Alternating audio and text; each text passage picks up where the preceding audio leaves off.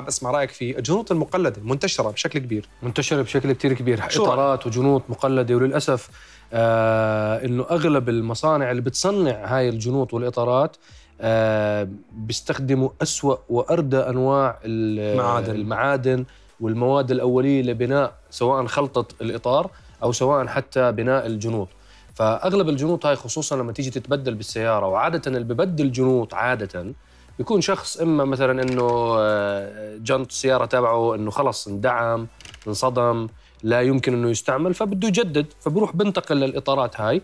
التجاري منها اللي هو رخيص الثمن خطر جدا.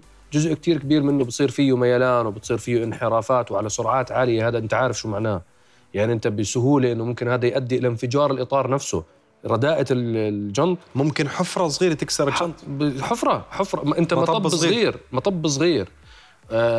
يضرب مطب صغير يكسر الجنط تخيل الضرر اللي راح يصير على السيارة وإذا كنت ماشي على سرعة عالية شو الضرر اللي عليك؟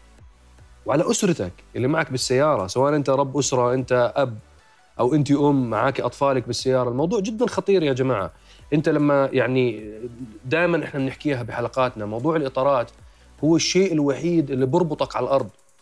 الشيء الوحيد اللي انت كل هذا هيكل السيارة اللي انت شايفه الفولاذ والمقاعد والجلد والهي كلياتها مرتبطة على قطعة ربر مطاطية ملتصقة بأرض. الطريق والشارع هذا انت ما لك سلطة عليه. يعني انت بلدية بغداد مقصرة معاكم بتعديل الحفر آه، والبصرة وأربيل وكل مدن العراق في تقصير هذا حطوه على جنب. إنه أغلب الطرق فيها مثلا حفر أو مطبات مفاجئة أو أو أو.